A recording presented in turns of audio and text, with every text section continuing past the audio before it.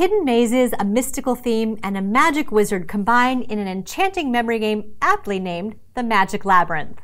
In the game, players must collect lost objects before the master wizard notices they're missing. The catch is that there are hidden walls under the game board that players find through trial and error.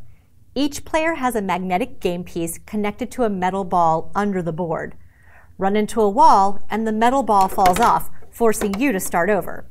Land on a space with a symbol that matches the symbol chip and you collect that token. Be the first to collect five tokens and you win the game.